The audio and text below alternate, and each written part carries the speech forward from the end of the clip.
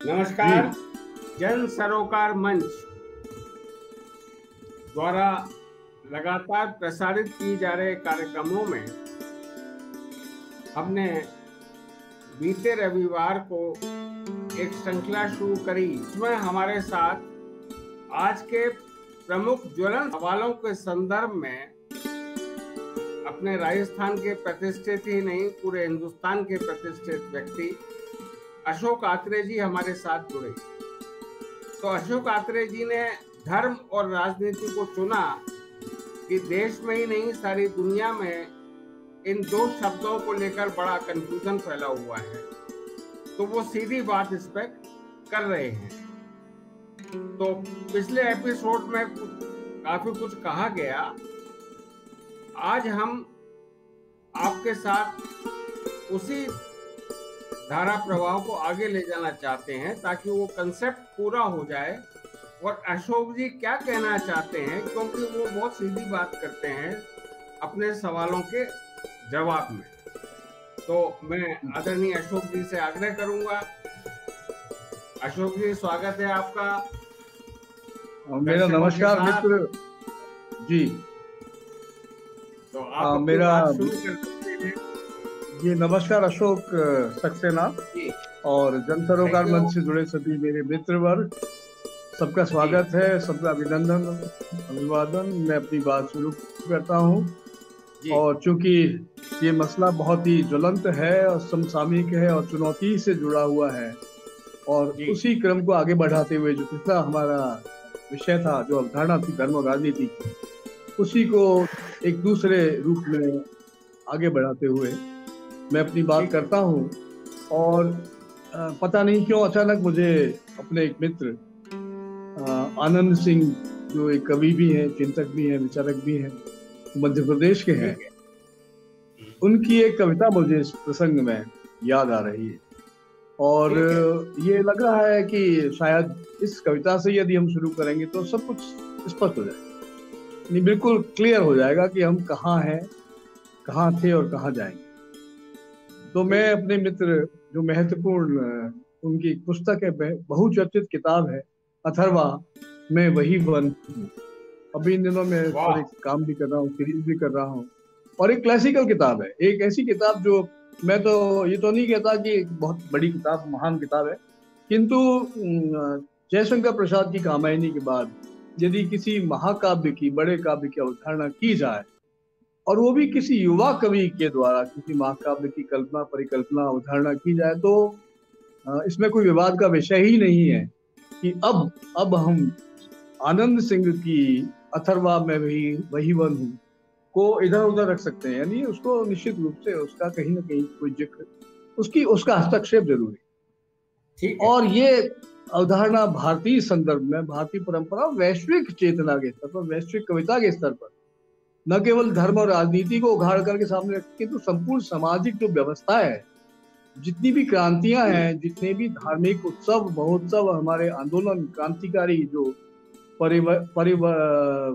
परिवरण है उस सभी पर्यावरण के संदर्भ में हम इस चेतना को यदि सामने रखते हैं तो बहुत स्पष्ट रूप से साफ़ चीज़ें साफ़ हो जाती है।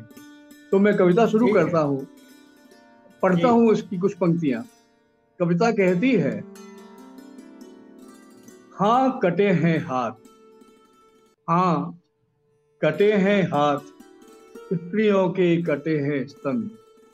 हाँ कटे हैं हाथ स्त्रियों के कटे हैं स्तन शिशुओं की जीभ और बूढ़ों के यौवन। हाँ कटे हैं। हाथ स्त्रियों के कटे हैं स्तन शिशुओं की जीभ और बूढ़ों के यौवन। विरूप और विकृत उन्माद के गौरव विरूप और विकृत उन्माद के गौरव करते हैं देश के विभाजन। तो इस देश विभाजन का जो जीता जागता, जो नमूना है, जो जिस स्मृति को हम अभी भूले नहीं और निश्चित रूप से किसी न किसी रूप में नहीं, बल्कि सीधे तरीके से धर्म के अंधा, अंधानुकरण से, धर्म के अंधेपन से धर्मांधता से जो चीज़ जुड़ी हुई थी सारे मानव मूल्यों को तिरोहित कर दिया जिसने सारे मूल्यों को लगभग गर्त में डाल दिया। उस राजनीति उस धर्म की धर्मांधता की चेतना से जुड़ी है कविता। मेरे ख्याल में अपने आप में पूरा संदेश पूरा मैसेज दे देती और इस शुरुआत से अब आ, कहीं किसी प्रकार का कोई कंफ्यूजन या कोई विवाद या कहीं कोई अस्पष्टता रह नहीं तो मित्र अशोक मैं अपनी बात इसलिए भी कहता हूँ कि इस निशंसता की घड़ी में इस समय जब दिव्य राष्ट्रवाद का पागलपन सब पर सवार था और पता नहीं किस तरह से अचानक एक नया प्रस्ताव एक नई प्रस्ताव प्रस्तावना सामने आ गई। सब कुछ ठीक चल रहा था। न हिंदू था न मुसलमान था न ईसाई था न सिख था न कुछ था। पूरा देश एक था एक बड़े आंदोलन से सारा देश जुड़ा हुआ था जूझ रहा था। और एक बड़ी आस्था, बड़ी भविष्य की कल्पना को लेकर के हम सब जुड़े थे। एक बड़ा आंदोलन था आज़ाद। इसमें कौन नहीं था। पर अचानक पता नहीं क्या हुआ कि द्विराष्ट्रवाद का सिद्धांत, अल्लामा इकबाल ने दे दिया या उसके बाद पाकिस्तान के जो जनक थे, उन्होंने जिन्ना ने उसको स्वीकार कर लिया। और पता नहीं उस समय की जो सियासत थी, उस समय की राजनीति थी, उस राजनीति ने क्या गुल खिलाए कि सब कुछ अंधकार में डूब अचानक तिरोहित हो गया। सब कुछ हमारी सारी सिस्टम सारी वैल्यूज़ सारी सामाजिक व्यवस्था, सब कुछ। जो सदियों पुराना जो हमारा सामाजिक ढांचा था, जिसमें हम हँसते, बोलते, खाते, पीते, कविताएँ लिखते थे, कला की बात करते थे, कहीं किसी प्रकार विभाजन कहीं दूर दूर तक नज़र ही नहीं आता। It was an most integrated nation इसका जो इथोस था, बावजूद इतने सारे अतिक्रमण, इतनी आक्रमण, इतनी विवस्थाएँ इतनी परंपरागत विषमताएँ, इतनी गरीबी, इतनी हताशा, इतनी निराशा थी किंतु देश ऊपर से नीचे तक, बाएँ से दाएँ तक एक। और अचानक इस द्विराष्ट्रीय विभाजन की जो मानसिकता थी, उस प्रतिशोध में लाखों लोगों की हत्या हो गई। लाखों लोगों को इस घड़ी में, रेलगाड़ियों में, उनके शवों को लाद लाद करके, जब, जबरन ठूस ठूस करके इधर से उधर लाया गया और इस प्रतिरोध में पूरे राष्ट्र राष्ट्र ने चीतकार किया और उसकी आवाज़ हमें अब तक सुनाई। उस चीजकार को हम लोग भूल नहीं सकते। शायद शताब्दियों तक नहीं भूल पाएँगे, क्योंकि पूरे विश्व स्तर पर मानवता की त्रासदी की सबसे बड़ी घटना दुर्घटना थी। और उसके साथ देश का विभाजन भी हो गया। उसके बाद जो इस प्रकार से निष्क्रमण हुआ, जिस तरह से लोगों ने अपनी पूरी संस्कृति, समाज, व्यक्तिगत सारी जो आस्थाएँ थी, उसको, उससे उखड़ कर, उसको छोड़ करके, अपने सारे घर बारों को छोड़ करके लोग दूसरी जगह चले गए। यानी विस्थापना हो जो हुई वो अपने आप में भयावह था राजनीति और विश्व स्तर पर हुआ है, क्रांतियाँ सभी जगह हुई, किंतु भारत की जो राजनीति, वो इसलिए बहुत चिंताजनक थी क्योंकि भारत एक, एकीकृत राष्ट्र, एक बड़ा राष्ट्र, एक महाराष्ट्र। तो इस महाराष्ट्र की जो दुविधा थी, इसकी जो परिस्थितियाँ थी तो उस संबंध में हम ये सोच सकते हैं कि क्या हमारी आज़ादी की यही कल्पना थी? क्या हम इसीलिए आज़ाद हुए? कि अचानक सब कुछ उलट फेर हो जाएगा, सब कुछ बदल दिया जाएगा, सब कुछ पता नहीं किस प्रकार से अचानक जो है वो एक पागलपन लोगों पर, पूरी पूरी की पूरी जमात पर, पूरे राष्ट्र पर पागलपन सवार हो जाएगा। और इस राष्ट्रवाद की अवधारणा, जो निश्चित रूप से बाद में द्विराष्ट्रवाद हो गई क्योंकि ये राष्ट्रवादी ही अवधारणा थी, जो शुरू में एक नेशनल मूवमेंट के रूप में आई थी। राष्ट्रवाद कहीं किसी प्रकार से एक संकुचित भाव नहीं था। पूरे राष्ट्र को एक करने का भाव था। नेशनल मूवमेंट था। सभी विश्व स्तर पर हुआ है। जितने डेमोक्रेटिक कंट्रीज़ बाद में अलग अलग विश्व स्तर पर क्रांतियों में अलग अलग हुए। उसमें भारत भी एक हिस्सा था, उसमें what was new in that but ये जो नयापन, ये नया उन्माद जो सामने आया, शायद हम उसी उन्माद से जुड़ करके यदि आगे कुछ बात करें तो वो ज़्यादा सामयिक, प्रासंगिक और मेरे ख्याल में हम सभी के लिए ज़रूरी है। तो मित्र, मैं कहता हूँ कि वो आखिर अवधारणा क्या है राष्ट्रवाद? क्या कोई अवधारणा है इसकी या क्या हम आज भी उसी अवधारणा को या उसकी किसी भविष्य की कल्पना को लेकर के या एक अजीब तरह की फैंटेसी से फंतासी से जुड़ करके कुछ पता नहीं क्या अजीब गरीब स्थितियों से गुजर रहे हैं? कुछ समझ में नहीं आ रहा है। Everything is most confuse today we are not clear what is going to happen today with the people of this country जिसको हम डेमोक्रेटिक कंट्री कहते हैं। लोकतांत्रिक प्रजातंत्र और संसदीय व्यवस्था से हम जुड़े हुए हैं। आखिर उसकी रूपरेखा में ऐसा क्या बड़ा परिवर्तन आने वाला है? जिसकी हम कल्पना नहीं कर सकते या जिसकी हमें कल्पना करनी चाहिए। और कल्पना कर रहे हैं तो किस रूप में कर? उसकी सार्थकता की सकारात्मकता, उसके वैकल्पिक व्यवस्था, उसकी चेतना क्या है? खैर, मैं अब तारीखों पर ना तो जा रहा हूँ, न संख्या पर जा रहा हूँ, क्योंकि स्मृतियों का जो इतिहास है वो किसी संख्या और तारीख को नहीं। स्मृति सबसे बड़ी एक ऐसी शक्ति है जो भूलते, आदमी भूल ही भूल ही यानी रात को अचानक आपको नींद खुल जाएगी और आप पता नहीं कहाँ से, कहाँ चले हज़ारों लाखों मील दूर चले जाएँगे, पता नहीं किन टेरिटरीज को पार कर लेंगे। आप घर से बाहर बाहर से नगर नगर से प्रांत प्रांत से राष्ट्र राष्ट्र से अंतरराष्ट्र। और किन गली कुचों में कहा जाके खो जाएँगे कि इसको बुलाना मुश्किल। तो ये जो हमारी स्मृतियाँ हैं, जिन्हें हम सुविधाजनक तरीके से, असुविधाजनक तरीके से अपना अंग बना लेते हैं और उसकी अवधारणा को लेकर के किसी कालखंड के बारे में कल्पना कर लेते हैं। तो ये भी अपने आप में बहुत बड़ा प्रश्न है और क्या ये कालखंड या कोई भी कालखंड इस प्रकार से मानवीय मूल्यों का अतिक्रमण कर सकता है?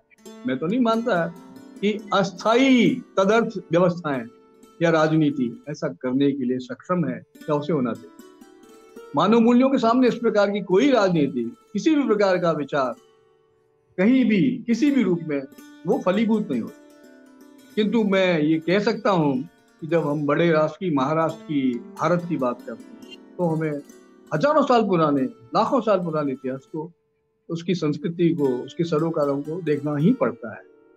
और यहाँ धर्म अखंडित रूप से धर्म एक महत्वपूर्ण भूमिका निभा क्योंकि भारत का मतलब है भारत का भारत का मतलब है धर्म।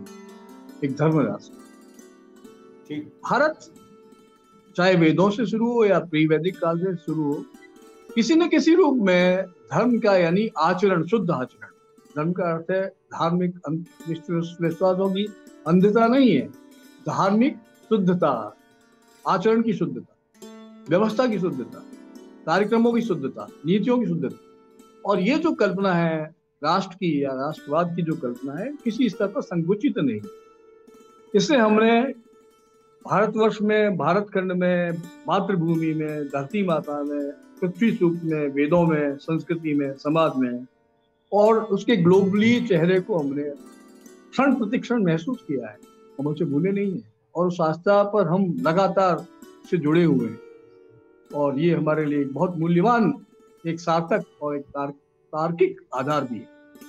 तो देखिए कि अब आगे कितने सुदूर राष्ट्र तक हमारी जड़ें गई है? आप सोचिए Bharatvarsh is not limited to this territory which is not divided into two और थ्री और four parts and going to divide more but that's not the reality reality ये है कि हमारा जो राष्ट्र था या राष्ट्र है उसकी जड़ें ब्रह्मावर्त जम्बूदीप और जाने कितने राष्ट्रों या कितने राज्यों के आर पार जा रहे of the Mayan civilization of America, it's there. You think of Africa, you think of England, you think of Eurasia, where is not? आप लिंग्विस्टिक स्टडी करें या एंथ्रोपोलॉजिकल स्टडी करें या वेदों के बारे में सोचें कि कौन सी ट्राइब्स कहाँ से कहाँ गई या राम राज्य की या महाभारत की अवधारणा के बारे में बात करें तो ये राष्ट्र एक बहुत बहुराष्ट्रीय एक महाराष्ट्रीय स्तर पर इस राष्ट्र का जन्म हुआ इसका विकास हुआ इसका स्वरूप हुआ इसका प्रादुर्भाव हुआ इसका विघटन या इसका आगे विस्तार हुआ तो भारतवर्ष को हम सैकड़ों हज़ारों वर्ष पुराने धार्मिक राष्ट्र के रूप में देख सकते हैं किंतु इस धार्मिक का आज जो संकुचित हो गया वह नहीं है। एक वाइडर कंटेक्ट में एक मानव मूल्यों से जुड़े हुए एक धरोहर के रूप में हम इस धार्मिक विश्वास को इस आस्था को लेते हैं न कि किसी अंधी चेतना से जुड़े हुए समाज। आइए एक छोटा सा एक पुरानी कविता है जिस पर आ, हमारे कवि ने विचार किया है। हम कौन थे?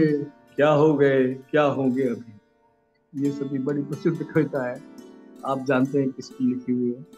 तो ये एक बड़ी प्रसिद्ध कविता और मेरे ख्याल में हमारी प्रश्नों की श्रृंखला यहीं से शुरू होनी चाहिए कि हम कौन थे, क्या है और क्या होंगे। तो फिर पुनः अब वह धर्म नहीं आता है जिस धर्म की हमने कल्पना की है, जिसे हमने किसी रूप में अचीव किया है, जिसकी धार्मिक जड़ें बहुत गहरी हैं। चाहे वो वर्णाश्रम व्यवस्था हो, चाहे वैदिक व्यवस्था हो, चाहे अवैधिक व्यवस्था हो। जिसकी जड़ें बहुत गहरी हैं, किंतु तो अब स्थिति लगभग अलग हो चुकी अब उसका स्वरूप रहा ही नहीं जो किस जमाने में इसलिए अब एक अजीब तरह के एक डिस्टॉर्टेड फॉर्म में, एक अजीब प्रकार के विसंकलित रूप में, एक अजीब तरीके एक ऐसे रूप में, एक ऐसे रूपाकार में हमें किसी ने धर्म का झंडा पकड़ा दिया है, जिसके रंगों का, जिसके पकड़, कपड़े का जिसकी डंडी का, जिसके हवा का, जिसके रूपरेखा का, जिसकी दिशा का हमें कुछ पता ही नहीं। ऐसे झंडे को उठा करके भी हम चल रहे हैं तो ये दुर्भाग्यपूर्ण है। ये चाहे किसी की राष्ट्र की बात हो, चाहे भारत की हो, चाहे पाकिस्तान की हो, चाहे अफ़गानिस्तान की हो, चाहे अमेरिका की हो, चाहे रूस की हो, चाहे किसी चीन की।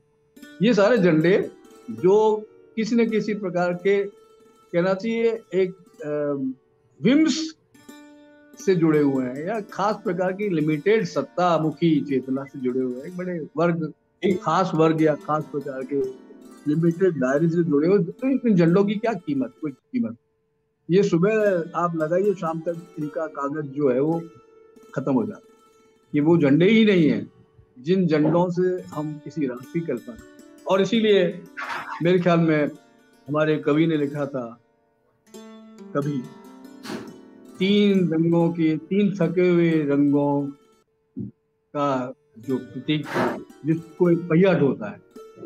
तीन थके हुए रंगों से जुड़ा हुआ झंडा जिससे एक पहिया ढोता है पहिया ढोता है। तो ये बात बड़ी स्पष्ट है, साफ़ है। उसको चाहे हम, अब हम बापू से जोड़े हैं, चाहे महात्मा गांधी से जोड़े हैं, चाहे नेहरू से जोड़े चाहे पटेल से जोड़े अब जो झंडों की रूपरेखा है या जो झंडे की व्यवस्था है झंडे का जो स्वरूप है झंडे की जो भावना है, वो उन थके हुए तीन रंगों की भावना है जिससे एक पहिया ढो रहा है। ये चाहे अशोक चक्र हो, चाहे कोई धर्म चक्र हो, चाहे कोई पहिया हो, जो एक मजदूर का, एक किसान की का चाहे कोई वो पहिया हो, या चरखा हो गांधी का, अब इनका ये लगभग महत्व, महत्वहीन आउटडेटेड और इनको लगभग लोगों ने कहीं ऐसी जगह रख दिया है जहाँ कहीं दूर दूर से इनकी आवाज़, इनकी शक्ति नज़र तो ये स्थिति आज लगभग पैदा हो गई है। और इस स्थिति में राष्ट्रीय आंदोलनों को देखें, इस स्थिति में आज़ादी के सपने को देखें, इस स्थिति में यदि प्रजातंत्र की रूपरेखा को देखें, इस स्थिति में यदि हिंसा विहीन जन क्रांतियों की बात करें, इस स्थिति में समाजवादी समाज की हम बात करें अंबेडकर लोहिया, इंदिरा और हमारे तमाम देश प्रदेश के नेतागणों की और भारत की सभ्यता की लोकतांत्रिक व्यवस्था की बात करें संसदीय प्रणाली की बात करें तो जिस प्रणाली को हमने खून पसीने से सींच करके सुरक्षित किया है और जिसकी सुरक्षा की है, और जो आज विश्व में बड़े लोकतंत्र के, विश्वव्यापी स्तर पर बड़े लोकतंत्र के रूप में जो स्थापित है, क्या आज हमारी जड़ें उतनी गहरी हैं जितनी हज़ार साल पहले थी, दो हज़ार साल पहले थी पाँच हज़ार साल पहले शायद नहीं है। कारण ये है कि इसकी तमाम मोर्चाबंदी इसकी तमाम शक्तियाँ, इसके तमाम मनोभाव, इसके तमाम सांस्कृतिक जो स्वरूप थे या सामाजिक जो अखंडता थी, वो कहीं ना कहीं किसी न किसी रूप में प्रभावित हुई है। उसका अतिक्रमण हुआ है और उसकी चिंताएँ आज राष्ट्रव्यापी इसे राजनीति ने लगभग कहना चाहिए कि विरूपित किया। तो मैं आपसे बताना चाहूँ पुराना आप याद करिए जब प्रभात फेरियाँ निकलती थी, आप सोचेंगे ये ये जमाना कहाँ चला है? जब चरखे चलते थे, जब हम स्कूल में जाते थे पढ़ने के लिए तकली की एक अलग क्लास होती थी। आप Ashok you can very well remember कि हम तकली क्लास में, एक छठी क्लास क्लास में तकली की क्लास होती थी, हम सूट काटते थे। और ये बहुत अच्छा लगता था it was so pure. It was so nice कि हमें उस तकलीफ़ में राष्ट्र की छवि नज़र आ उस तकलीफ़ के पीछे जो शक्ति थी, जो मानवीय चेतना थी, जो भविष्य था, जो हमारा एक रूपरेखा, चाहे वो कबीर से जुड़ा हो, चाहे और बुराने कहीं ले जाइए उसे, किंतु वो एक मानवीय चेतना, जो शुद्धता थी, जो विशुद्धता थी, जो आत्मिक आनंद था, जिस तरह से तकलीफ़ को हम घुमाते थे और दूध सूट को काटते थे, वो एक अपने आप में बड़ा संदेश था। उस संदेश के संदर्भ में हम कहते थे विजवी विजय विश्व तिरंगा प्यारा झंडा ऊँचा रहे। तो ये क्रांति की चेतना, झंडा ऊँचा रहे हमारा विजवी विश्व तिरंगा प्यारा। आज इस गाने को आप गा के बैंड बाजे के साथ बजाइए हज़ार तरह का ऑर्केस्ट्राइजेशन करिए, इससे कुछ नहीं होने वाला है। ये विजय विश्व तिरंगा प्यारा, पता नहीं कहाँ विलुप्त हो गया तो ये चिंता का विषय है कि ये आज पचहत्तर साल की आज़ादी के बाद जिस अमृत महोत्सव की हम कल्पना कर रहे हैं, जो अमृत महोत्सव की हम बातचीत कर रहे हैं, क्या अमृत महोत्सव है वो? उसमें कितना विषय है, कितना अमृत है? सोचना पड़ेगा फिर चलिए, वही चलिए, सुरासुर संग्राम की तरफ़ चलिए, जो हज़ारों साल, लाखों साल पुराना हमारी चेतना से जुड़ा हुआ है। सांस्कृतिक वो एक है, कुछ तथ्य है सागर का मंथन हुआ है, अमृत निकला है। अमृत के साथ कितनी निधियाँ निकली? कितनी वैल्यूस्टिक चीज़ें निकली और वो सुरासुर संग्राम जीवन का एक अंग है। किंतु इस स्वराष्ट्र संग्राम को यदि हमने छोटे मोटे महोत्सव में और ट्रॉफियों में और झंडों में और किसी प्रकार की पार्टी बद्धता से जा, जोड़ दिया या इस प्रकार की जो नकली या वाट एवर पॉलिटिकल तरीके से यदि हमने इसका कोई इमेजरी कर, बनाने की कोशिश की तो ये बहुत दूर तक जाने वाली बात चाहे नहीं हो। किंतु चिंता का विषय है कि क्या राष्ट्रवाद वास्तव में क्या झंडा वास्तव में हमारी चेतना का, का वाहक है जिस चेतना से हम आज़ादी के समय जुड़े थे जिस चेतना से हमने आज़ादी का? तो एक बड़ा सवाल क्या वो चेतना बर, बरकरार है? कारण यह है कि आज क्षेत्रवाद हो चाहे जातिवाद हो चाहे बेरोजगारी हो चाहे आतंकवाद हो चाहे भ्रष्टाचार हो ये सारी चीज़ें आज हमें हमारी जनता को बुरी तरह से गुमराह करें और स्थिति हमारी राजनीति में इस लोकतांत्रिक प्रणाली में ऐसी हो गई है कि जिसे, जिसके बारे में वही बात आती है, मुझे वो याद, अब अच्छी तरह वो कविता मेरे सामने आ गई, मैं बता रहा हूँ। तीन थके थके रंगों का नाम है आज़ादी जिससे एक पहिया ढूंढता है। ये मैंने थोड़ी देर पहले आपको कहा था।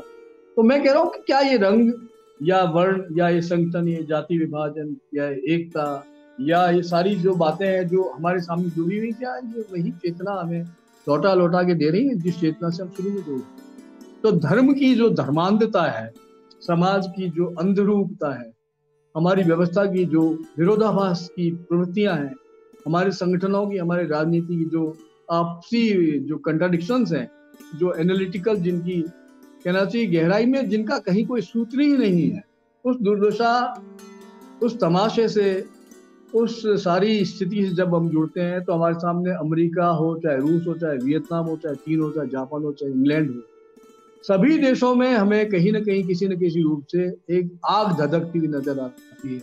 शीतकारें उठती हुई नज़र आती है चाहे हिरोशिमा हो चाहे सीरिया हो चाहे पाकिस्तान हो चाहे अफ़गानिस्तान हो और हम एक महाशून्य में किसी न किसी रूप में निर्लजता से हमें धकेल दिया गया पहले मैंने राजकोट में अपनी एक फ़िल्म का प्रदर्शन किया था।